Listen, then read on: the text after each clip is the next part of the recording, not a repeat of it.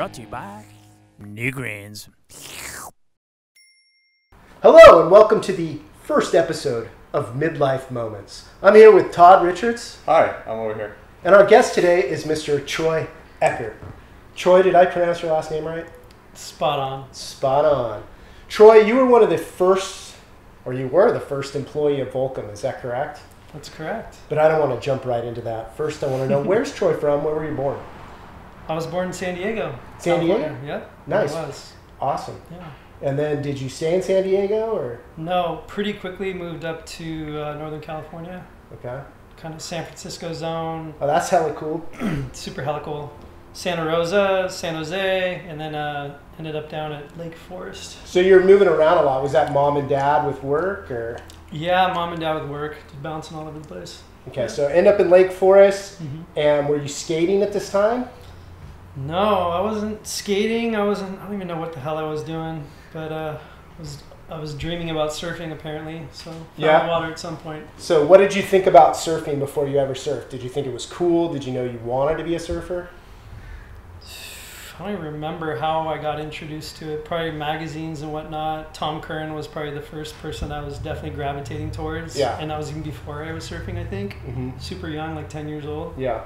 And um, yeah, just uh, somehow made it to Doheny with my mom. And was boogie boarding at Doheny. That's the perfect spot if you're if you're gonna start off. Go to Doheny. Let's So- fast forward to river jetties. When did you become a river jetties master? When did that happen? Never River Jetties master. Okay, where? Okay, you you were always synonymous with Noops, 54th the Street. Noops crew. 50 between 47th Street and 50 no 52nd Street Jetty and 56th Street. That was the stomping grounds. And what was like? What year was that? You know? I mean, that was probably. I moved to Newport in 90, so it started about 1990. Now at this point was was Danny Kwok. He was the Quiksilver TM. He Did you ride for Quick? I did. I You rode did the Quiksilver. Yep. Did you wear the Echo Beach shorts? I don't remember. I still wear them around the house. I don't know what I was wearing. You were just rocking it, Yep. living there. Okay, so Newport, 1990, Yep. and you start surfing a lot more. How old are you when you first get sponsored? Um, I think I was like 16. 16 years yeah, old. 15, 16, something. Maybe younger actually. I rep for Town and Country, Thriller Gorilla. Remember Thriller Yeah, Gorilla? absolutely. That was when they were doing all those amazing graphics. So I for Town and Country before uh, Quiksilver, and I was super obsessed, obsessed with Matt Archbold when all the guys had the big TNC logo on their boards, and then they, so they had TNC, and then they had like another sponsor like Gotcha and TNC, and um, yeah, somehow I got with TNC. Was So fun. was there plans like once you start competing, winning contests? Are you thinking I'm going to be a pro surfer? I'm going to go to college, or I want to go into the surf industry? Any of that? I didn't know what the fuck I was gonna do. Day by day, you're yeah, just. I was 18 and just like smoking a ton ton of weed and just like just I've been listening there, to brother. music. I I've don't know been what there. I was doing. I currently have a pretty serious edible problem, but that's either here nor there. So you you're surfing your brains out, your guts out, and when does Volcom come around? So Wooly Richard Woolcott was my um, well he was running the marketing at Quiksilver at the time Okay. and um, he quit and basically started Volcom and a few months later he started with Tucker Hall. A few months later he hit me up and he was just he was like, Hey, I'm starting this company. I have no idea what it's gonna do or be or anything, but do you want to be a part of it? And And why do you think he chose you? I have no idea. Come on, you've had you gotta have some. Probably- out of all the people he could have called, he calls Troy. Yeah. I don't know. I was like a local surf rap kid in Newport, mm-hmm. and so to maybe claim stake in kind of the hood down there, maybe was part of it. For sure, was part of it. So he knew you were in with the local crew Yeah. already. Kind of, it's pretty smart. And was he living in El Morro at the time? No, this is pre El Morro. He Pre was in that. he was in Newport Shores. He was down Okay. there and down in the zone. And so at this point, like you know, you got Volcom shows up in the scene, which is like the anti Quiksilver. Because everything is like all like super corporate, and then I think Todd, doesn't Todd ride for Quiksilver? I do. That's weird. I do, but this is Okay. it's a very incestual thing because you know we got uh, not only has Richard come from from you know Quick, but also Danny Kwok True. from Quick, investor in Volcom. Is that true? Mm-hmm. How's like give us the ancestral? I've, I've heard oh, millions of stories about how Quick is somehow involved with Volcom. Like how, what was the the tendrils of that? All those beginning? things you signed back in the day, that's all expired. Yeah, all it's the been like seven passed. years, right? So Statute of limitations is over. Yeah. Um, yeah, DK was an early investor in Volcom. For Yeah. sure, he was definitely moonlighting, but it's no secret. So Double dipping. Hey, that's the way you make it money. was a in this smart. It was a smart double dip on his part, financially. For sure. Yeah. For sure. So were you going into stores like when Volcom first started as your first employee, like Laguna Surf and Sport? Are you going checking out how it actually looks? Are you approving product or Yeah, it was all hands on deck at that point. I was doing like shipping, like the second half of the day, and marketing Right. and team, the first production, retail, like all kinds of. different are you like going up to Wooly and being like, this kid's insane, he should be on Volcom.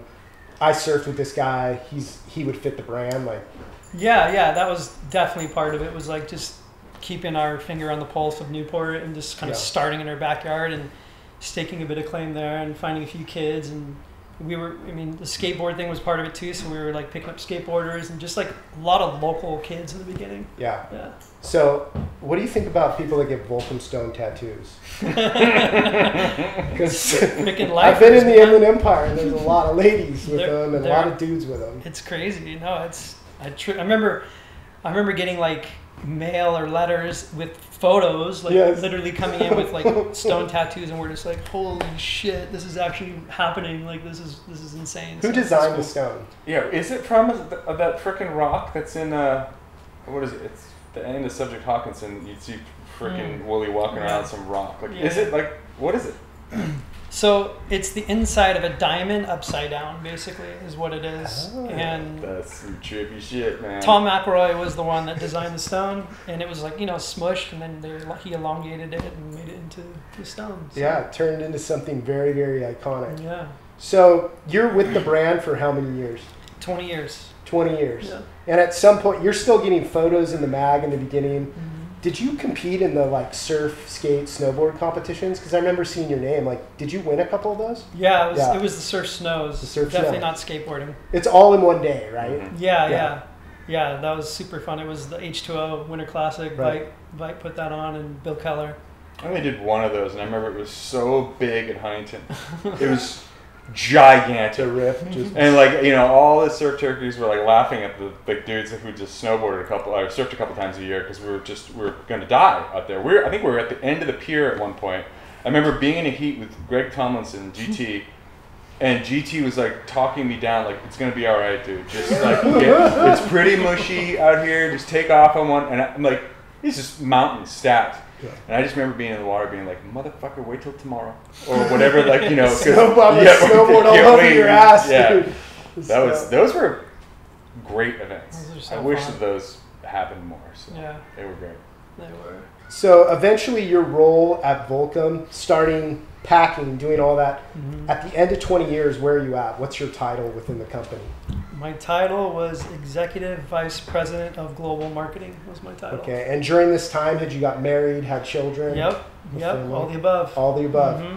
And are you having a good work-life balance, or are you like the work guy? Oh no, I was fucking grinding so Grinding. hard. Yeah, I didn't know what was going on. I was just like 12 hour days, 14 hour days, like living, eating, breathing work, basically. Yeah. See, that's a weird thing. Like with a company like Volcom, or like with with any brand that is a lifestyle brand, there's no detaching from it. No. I don't think it's like Mm. you know, even when you're around your bros, it's always like someone's trying to work an angle, or you're trying to work an angle, and that's like, you know, how do like how do you even deal with that? Like I know from coming from an athlete's standpoint of that is one thing, but like actually being responsible for people's you know well-being like you know you you've got to grow this company because you got all these other mouths to feed that you kind of feel responsible for Yeah. is it like what's that like on the psyche as far as Yeah, it was a lot of pressure, man. It was it. it luckily, um, it, I was so young, kind of coming up into it. it. Was I literally grew up into it,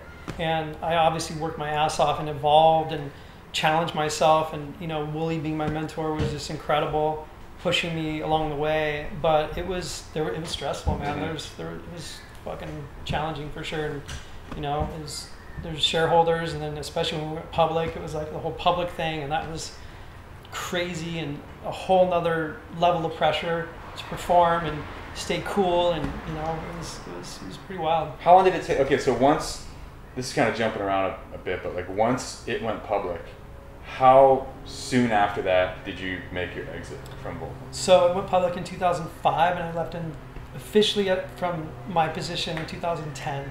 Because of you were just over it, or because that was always your plan was to phase yourself out? It was kind of a plan to be there 20 years in my mind from pretty early on. Probably 10 years in, it was like I could do another 10 years here. Mhm. So it was like, it was kind of the 20 year plan essentially. And it, it worked out just because at the end I was just getting burned out on being a manager, honestly, and not being as creative as I was. And just felt like my time was up basically.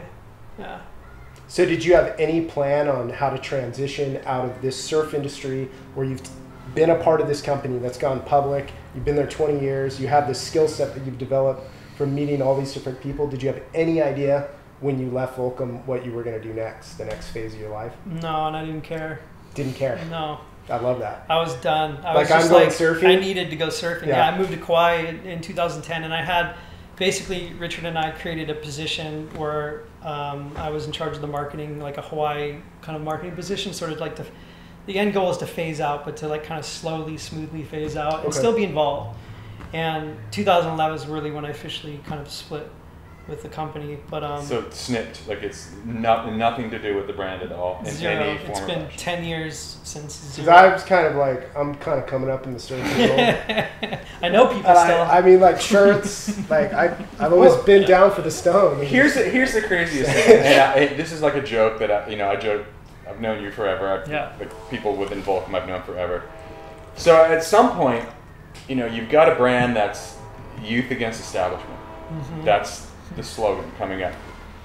When Volcom suddenly becomes the establishment, yeah. like I mean, it's got to like I've helped to incubate brands too, and it's like at some point when you're detached, but you never really leave it. Yeah. You know, your part of your soul is always there. Was it like?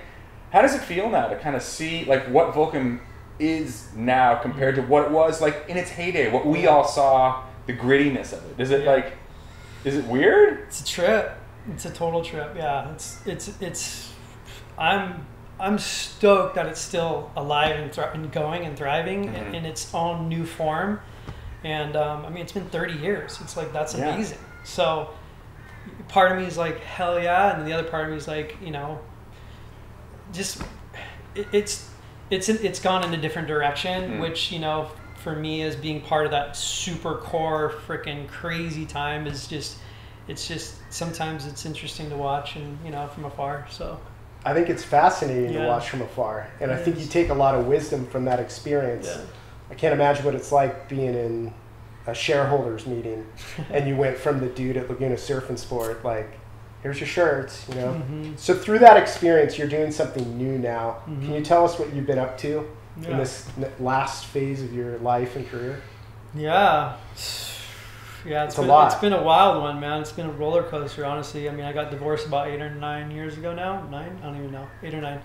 And uh, that was that was pretty wild on me and challenging. And you know, I kind of just went into a bit of a well, I was I basically just went for self destruction mode after you know the divorce. That's common that among thing. men. Yeah, you're good right? at self-destruction. Like, Yeah. like be specific. Like, what was the partying, just Yeah. like just drowning my sorrows, you know, and just fucking just letting it all hang out basically Yeah. for a solid six months, almost a year, you know, and I just turned forty basically, and um, Are people around you letting you do that, or is anyone trying to no stop one's you? monitoring No me one's at all. monitoring. You're a grown up.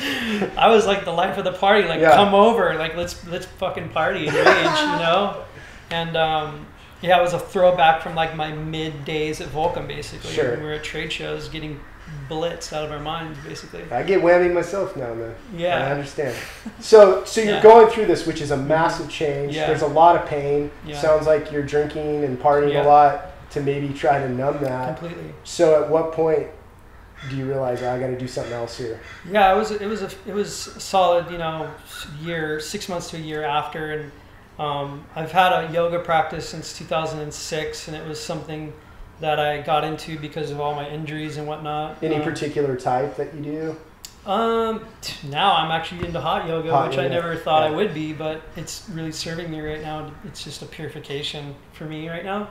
But um, Yeah, it was uh, it was a it was a crazy time, wild ride, and I and I and, and about three or four years ago, about four years ago now, um, I got into another relationship, which ended up being really just a rebound, total toxic kind of Mm. relationship, and on both sides, and so that sort of set me into a pretty downward, another downward spiral, basically of just like fucking depression and just like not feeling fulfilled. I got mold poisoning from the house I was living in. What? Yes, and I had all these like physical ailments basically come to the surface, which was heavy and crazy because I've been pretty healthy my entire life, and um, and it just was like came out of kind of kind of out of nowhere, and so that relationship dissolved, and, and and I was in this point of just like, what am I going to do with myself? Number one, I need to heal. Like I don't even know what's happening to my body, and so I just went down all these different rabbit holes of just different ways to sort of heal and be um, get myself back to where I where I know I could be physically, mentally, energetically, emotionally, all those sorts of things. And um, so, long story short, I was going to therapy, and it just wasn't like really doing all that much for me. Mhm. Um, and it's obviously a really great modality and it works really well for a lot of people. But for me, it just I felt myself going in feeling like shit and leaving feeling worse, basically. And it was like my problems were just being regurgitated. So I was like, what else is out there? There's got to be some sort of modality that, that I can like turn to because I'm like fucking I need help right now. Like I think that's time. uh, just to jump in. I think that's Mhm. really interesting too. Is like you think about, you know, a lot of people that have shit going on or just stuff, and it's like you know, it's the the easy answer is like, oh, we'll get you some therapy, but it just it's like it doesn't work for some people are like straight up allergic to therapy. Like you Mhm. said, it's like all this is doing is making me mad at the person there, making me mad at myself, and then like you know, you're throwing $200, 300 dollars an hour in a fan, and then leaving and being pissed. So it's like it's. I think it's okay to admit that therapy doesn't freaking work for everybody. It's not the band aid, psychological band aid that maybe it's made out to be these days. Yeah, yeah.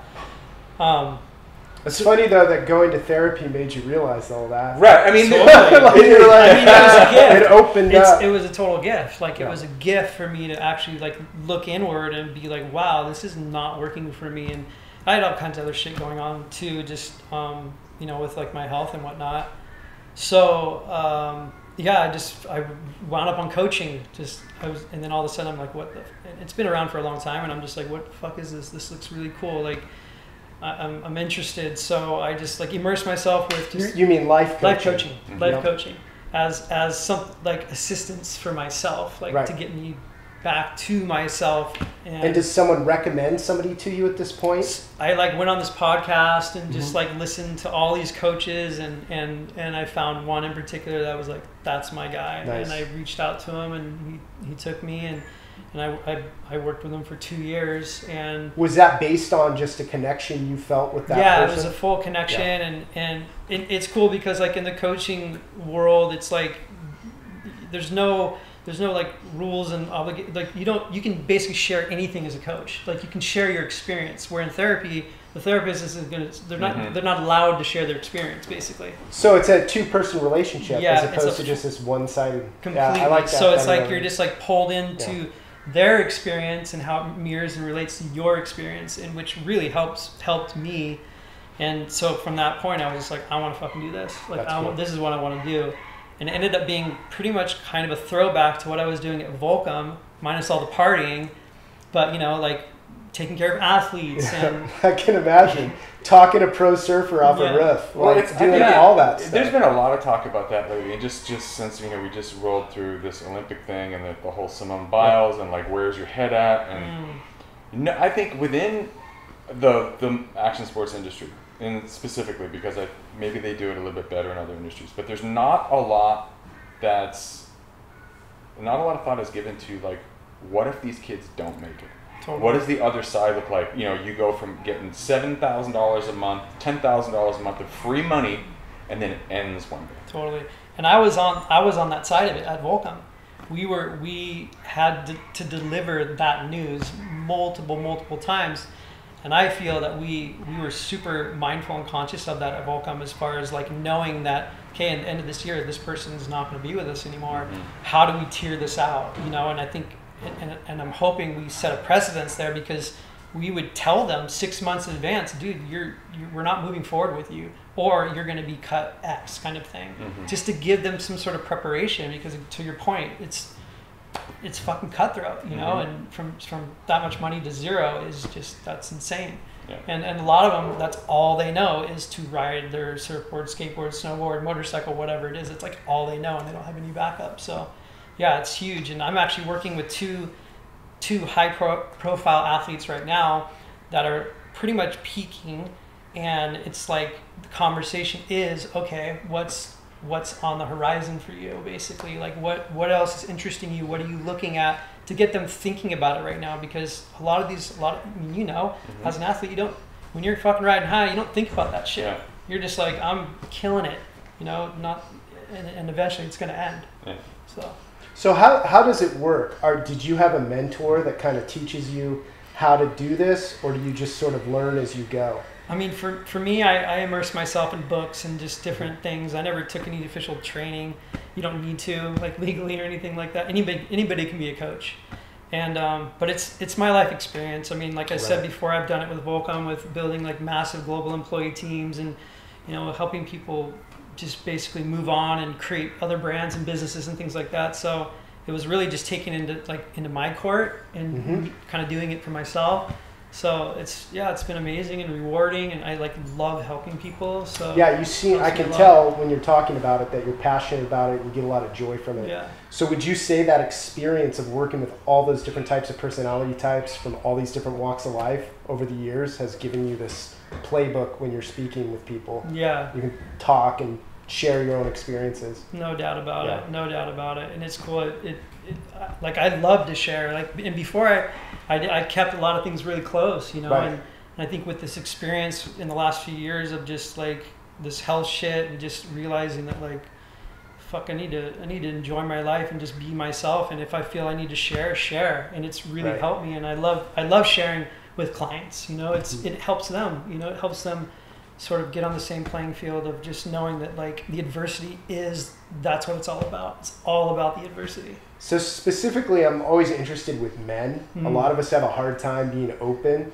totally and sharing. There's this, those gates, those walls that maybe we learned from society or from our parents. yeah Do you find that it's difficult with guys to break through, or yeah for Yeah. sure for sure but eventually they they they seem they, to they all they crack kinda at some up. point? The tears start coming. Basically, it's Yeah. just I mean it's a lot of pent up energy when you're supposed to not share your feelings, you know, and and, and the energy it doesn't it doesn't leave the body, it stays in you. It you. stays There's in you. issues in your tissues basically. You carry that stress, and it affects you at a health level. it can it can Can. fully manifest into physical symptoms and I mean that, that is disease. Yeah. Do you feel like it was that Oh, was happening with you? Stress. Hundred percent. It was it was stress that basically depleted my immune system to where the mold that was present in the house had the ability to manifest basically. And there was other shit that you know, candida and EBV as well. So Epstein Barr, candida, and mold all at once basically. Mhm. So it was like Mhm. a fucking cataclysmic disaster. And I'm still dealing with it. Like there's still remnants and residue, but it's just it's all good. So when we're like, in particular, coastal California, you have a lot of highly successful people. Yeah. It's about making money. It's about earning. It's about the game and all that stuff. You have seen what's in the game and Mhm. what success looks like, Yeah. and it seems to me what you're saying is that's not where all the joy lies and all the fulfillment lies. It sounds like when you start to be who you truly are, Yeah. you're going to be a lot healthier and happier. I mean, that's been my experience. I've been I've been through all that success shit and had the houses and Right. the cars and the whole thing. I crashed a Porsche last week, so I know. What's Didn't up. have a Porsche. I mean, my my Volvo was like the the highest rolling It was a rental car. Anyways, I like my truck, but um, yeah, man, it's it's it's about the moment and like all these things to go and get and have isn't gonna bring It doesn't. bring you any It doesn't. more happier than we are sitting on this red fucking awesome leather couch. Yeah, I 100% agree. But is it hard to get a person to see that that's coming to you Yeah. that's like so alpha, so driven, so success? especially now with like you know with the parents and stuff and they have these kids that they they see the pinnacle they Yeah. see what can happen and then that you know you're like i'm a life coach and then you know they're like well you don't look very successful. Like, how are you? How are you projecting success into my child here? Like, so, yeah, like what? Like, how does that kind of work out? You They- know?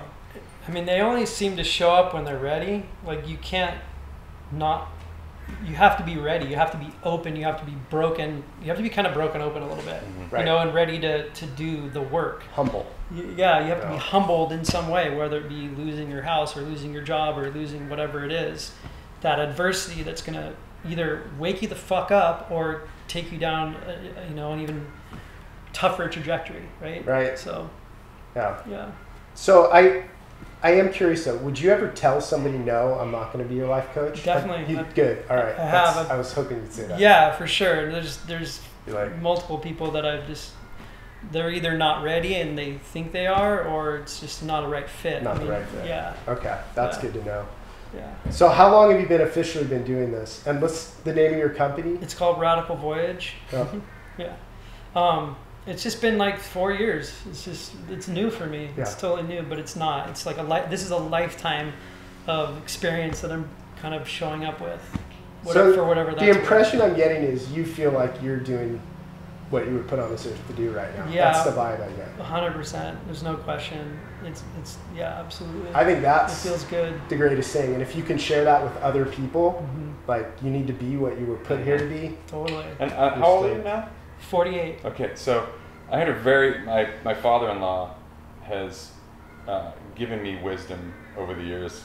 Tells the same stories about 300 times, but the one thing that I've taken from this is that he said that he didn't know shit until he was 50 years old. Mm. I was I didn't know anything until I was 50, and I think that that's really an interesting thing, you know, from my life and from kind of listening to what you're saying is like all this crap that you carry around with you mm. that causes all this ache and pain and disease and like you kind of it, it takes you until like you're almost like midlife or towards the august you know the fall of your life to realize that none of that shit matters. And a person like you that can help shed that i mean because i don't think you can do it by yourself. I don't i don't mm. think a person can just shed that layer. And it's like my whole thing is why do it by yourself if you have Mhm. the option to like partner up with because we're somebody. freaking men there you go. yeah you know? See how that see how that goes. you Right. know? No, you do need somebody to talk to. I we were talking earlier about my dad's not. We are. I love him to death, but our communication.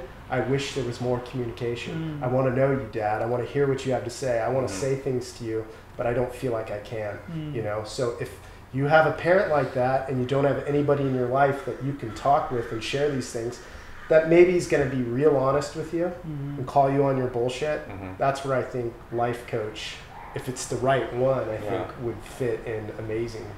Because sometimes you just need somebody to point you in the right direction and Mm. work through some shit. And Totally. like you said, therapy isn't for everybody. Um, it is for some. But and also like just mentorship like i think that there's a- Mentorship there's, is- a, I there's a giant hole within just the youth Totally. you know Yeah. it's like parents can only do so much and there's just so much like with my, my kids my son doesn't i mean it doesn't matter what i've lived through or what i know they don't Yeah, listen it because doesn't it's matter. dad saying it. Whereas if Troy said it, it might be exactly absolutely. Yeah. Yeah, it's true. Hello, my name is Jonathan Wayne Freeman with the Midlife Health Minute, and I'm here today with a blind taste test of New Green Superfood and the other guys. Here we go. Uh, let's see. We'll start with this one.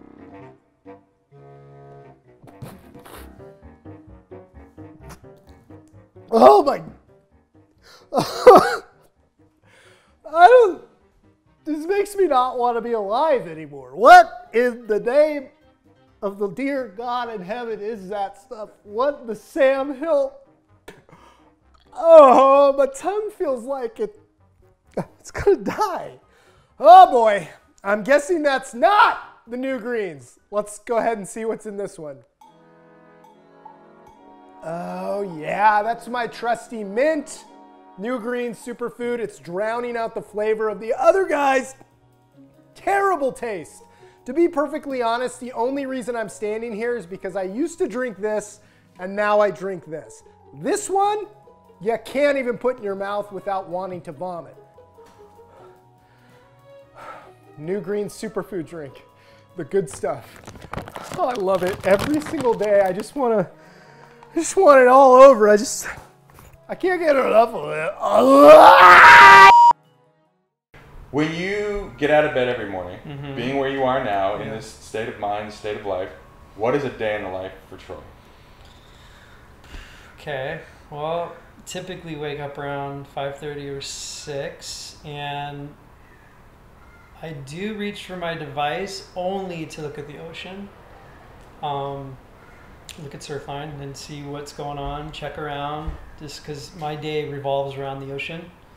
So, once I kind of check on that, I'll just put it down. It stays down. Um, I get up, I drink my lemon water, and then I go out and check the ocean. I go check beacons and just look at the ocean and kind of make make my decision from there if I'm going to go surfing, do yoga, journal.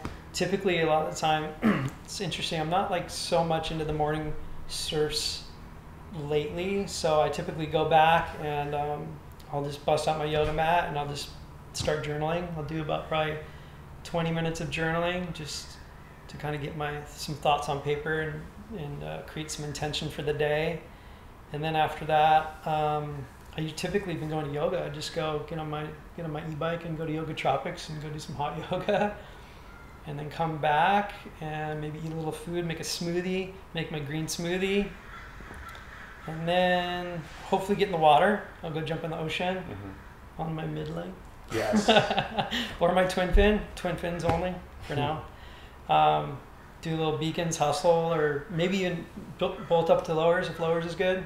Love lowers, and and then I'll fit some work in there some some point during the day. I love, I love the way this day's sounding. I want to be Troy. Is It your sounds is your diet different? Like, I mean, like, what's what's a diet for you? Like, are So- you strict? Yeah, well, I, I did the vegan thing for about two and a half years, Wow. and then just recently I've kind of I, I got back into fish, so I'm really calling it intuitive eating, and I, I, I really just check in and just kind of like feel into my body and feel what it needs in the moment, Yeah. and and I usually go with that and. Um, but yeah, very plant based, very heavy plant based with uh, with some fish and uh, no red meat, no chicken. Uh, I actually just I actually did just have chicken when I was in Costa Rica. There's like this amazing rotisserie smokehouse chicken thing that I gave in. It's the first chicken I've had in like two and a half years. Had that was protein re- taste. It was really huh? fucking good. May I share my diet with you? Please. In my previous life, I was a dolphin. So once a year, I have salmon just to satiate that dolphin part of me, but I'm primarily vegan. Yeah. Except, except for the Amazing. meat. What's your What's your diet like, Todd? Mine is, um, well, we at our house, and this is all credit goes to my wife because my brain just doesn't think this way. Is that you know we're it's very conscious about what comes in, as far as like you know, the sourcing of it and no GMOs and that kind of thing. Um, but I'm, I don't eat a lot of meals. I eat breakfast, and then I pretty much don't eat all day, and then I eat dinner. Mm. I don't drink. Ra- rarely do I drink, I should say. Um, yeah, I don't know. I think I think chocolate's my nemesis, you know. But that's like I'm not I'm not like really picky. Like you know, we we were very at our house we were very gluten free for a long time because Mm. the kids had some allergies and stuff like that. But it's we've tried a bunch of different diets, and I don't know. It's like you know, you listen to your body. My body's like, let's go. Uh, I'm hungry. hmm What's there? hmm You know, I've never really put much energy into that. Yeah. So, for Seems- better or for worse, I don't know. Seems to be working, right? I guess, but I, you know, I think a body in motion needs to stay in motion because if Yeah. you sit, you know, you you fall apart. Totally true. Yeah. Hey Troy, I had a question too. Since I I'm 41 years old, my T levels have been dropping, and I've found that when I'm a young around like young women, like in their 20s, it makes me feel alive and not dead inside. And uh, I'm just wondering if that's normal. Do you think my T levels are spiking when I'm around hot young chicks and not my wife? and should I follow that instinct? Is what I'm saying. Can I cheat on her, Troy? That, I mean, maybe I'll discover a whole new path. You know. Just, Sure, We'll talk man, about whatever, it. whatever you feel. Whatever like, you go feel. for it. It's good advice. Just listen to your body. Troy's a good guy. Just go intuitive just on go that one. intuitive on that one. All right, I like it. How can your body be wrong, right? It's not going to Your- send your you. body doesn't lie. It doesn't lie to you. No. That's actually my opening line. Like our bodies ain't lying, girl. Yeah. Yeah. Anyways, we learned a lot here today. What else you got? Uh, I got a lot of problems, Troy. a lot of problems. You know how people go on cocaine benders? Mm-hmm. Yeah, I go on edible benders. Okay. I go real deep, do a lot of self work. Yeah. How's Yeah. that? My wife says I'm super selfish. I'm just like it's. Why? Ah, That's what I said. I'm doing the self work, and that means being selfish, you know. And I'm going on my journey. But I don't pick up or clean around the house or do dishes when I go on these journeys. Mm. So she thinks it's like not cool. No cool. But again, follow the instinct, right? That's right.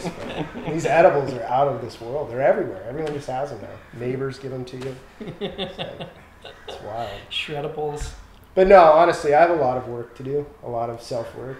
And I think what you're doing is awesome because I see you progress as a human being and you're continuing to grow. And I need to do more of that. Mm. I think every, like just coming from like everyone's different. Everyone's got some crap they need to unload. Yeah. You know, hmm whether it be like, you know, you trying to figure out if it's okay not to do housework ever, Okay, to like the ex pro who s- still has some weird thing in his head where he has to be competitive with the 17 year old for no freaking Yeah. reason. Like it's there's why That you no. So, are there definitely some shady life coaches out there? There's got to be, right? I'm sure there are. Like I- just I some mean, real piles of shit. There has to be. I'm sure there are. Yeah. Every industry has shadiness, right? For the most Amen. part. That's the truth. Yeah. That's the truth. What would you say at the end of the day would be the person who really could benefit from a life coach? Everybody, Everybody. Everybody. What age? Doesn't matter. any age. Any age. So with your with your do you have uh, two daughters? I have three. Three. Do Yeah. you coach them up? No, they don't want to hear from me. Ah, damn it. It's like what we talked Todd Richards is I th- well, Yeah, I think it's, it's the way the way it goes, dude. They don't It is. want to. You know nothing. that sucks though, man. Wish it wasn't like that. Well, it just it seems to me that these days, uh, you know, especially in light of where the world is in this crazy panic that we have, that there's a lot of people turning to alternate forms of um, emotional uh, solitude. You know, whether it be like someone looking at the bottom of a bottle of wine, or someone like going like feeding themselves on uh, news cycles or you know or life coaches. And there are like you said there's a lot of you know there's good good and bad and all these different things. So it's like what, what are some what's i think that i know the answer to this but i'd like to like hear your thoughts on like what what do you look for in someone that you're looking for as a life coach? Like what to you what would be like maybe a red flag and something that's that's good to see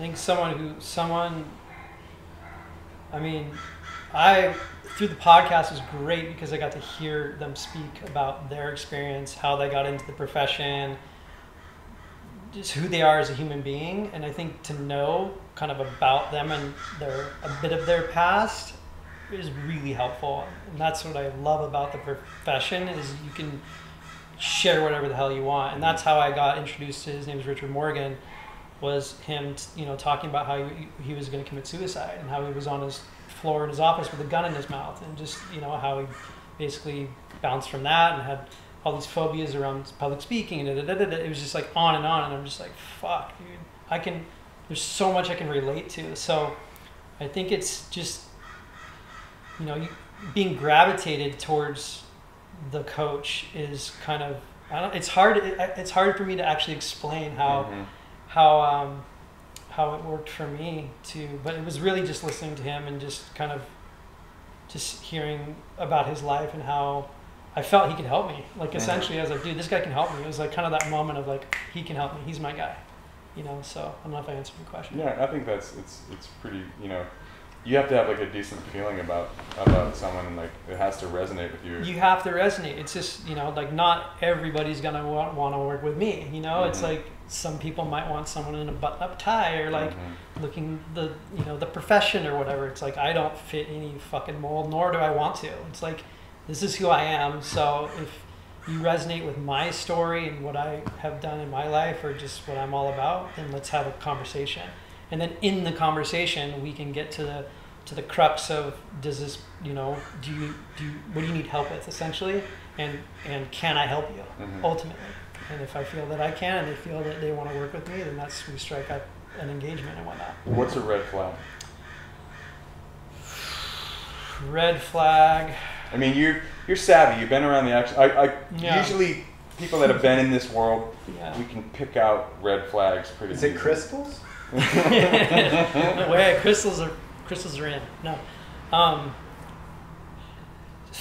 I don't want to. I don't want to come up as judgmental by any means because there are some very smart, very ahead of their time people that are youthful. I think it's if just life experience is mm-hmm. my in in my perspective is something that I like. I wouldn't go hire a 25 year old coach, Right. and that's just me being a little. I don't want to be, you know, for me personally, as a 48 year old man, it's like I want to I want to hire someone who has some fucking Yeah, you've wounds seen- and some seen fucking some scars, Yeah, dude, yeah. and, and have, you know bounced through and is is is owning their owning all of it, you know, and had some serious life experience and bounced back from like multitudes of adversity. Mhm. That's what I'm looking for. So anybody that is like, hey, I took the course and got the license or got the certification. I'm a certified life coach. I went through the course. Like that's my experience Mhm. That's great and there and, and there's so many people that can help people and do to you know hugely but for me uh, experience would be like a like life experience is, is, is a red flag for me so That's great. So- And do you sign a confidentiality agreement with the person? Yeah, or- how's that go? um i don't have any contracts or anything it's just all verbal I got a lot of secrets. I mean, we're good people. yeah, you're right here love it. All right. That's code, awesome. code of, co- verbal code of conduct Mhm. Verbal code of that's conduct. it Because John's like at Area 51. That Yeah. I go pretty far off the res. You know? I don't know if you can say that anymore. Sorry. yeah Yeah. Well, dude, you, this was awesome, man, and thank you so much for doing this. yeah thank you guys I hope it was everything you dreamed it would be and more. and more See you in the And hood. more. and more see it north See you in North. peak as well Well, it's truly been an honor having you over here, and thank you so much for taking the time to speak with me and Todd. Um, you've done so much in your life, and I think this next part is going to be the most exciting for you. I really Mhm. do, because you're you're doing solid work among humans, You're not just putting a T-shirt on people. You're looking at their heart, and you're helping them make solid changes. So, thank you so Right much, on. dude. Thank you, man. That was our Thank first guys. episode.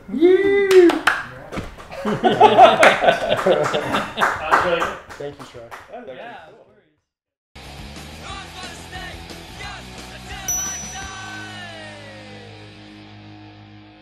Brought to you by NewGreens.